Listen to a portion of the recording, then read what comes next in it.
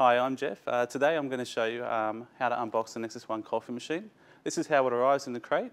All you need to unbox it is the drill driver and a number two Phillips head drill bit. What we're going to do is undo all of these screws. Okay, we've removed the screws. Uh, this is a two-person job, so I've got Grant in today to help me remove the lid.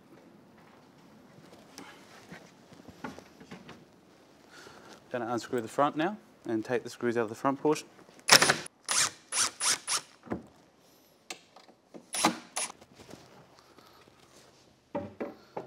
So we've removed the front cover now. This is exposing the uh, hydraulic unit, uh, the uh, electrical unit and the pump, all part of the under-counter system. And we've got our accessory box here with our braided hoses and waste hoses in it. So this is the under-counter unit. We're going to spin it around and show you the countertop unit right now.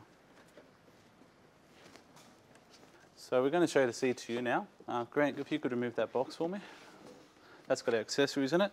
This ply here is, uh, we're going to start removing this as travel ply, just to hold in our travel plinth, which uh, seats our machine in here so it doesn't move around in, in shipping. Just going to use our number two drill. Take the screws out, there's four on either side.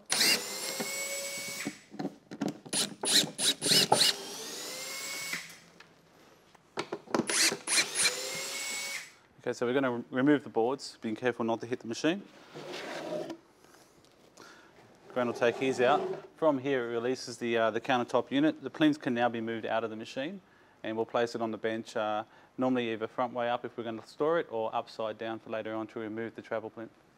We've taken a lot of care to make sure this machine arrives you looking as amazing as it does. So take care, uh, use gloves uh, or take off jewellery so you don't get uh, any marks on the machine. So here we have the microfibers. We're going to put these down when we turn the machine upside down so it doesn't get scratched. This is our polish, cleaner, tamper.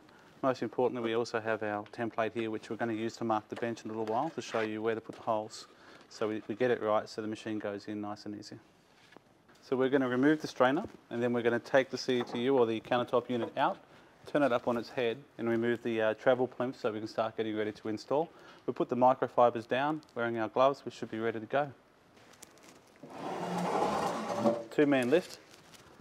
It's quite a heavy machine, so we want to make sure that we do this gently, but two people, only way to do it.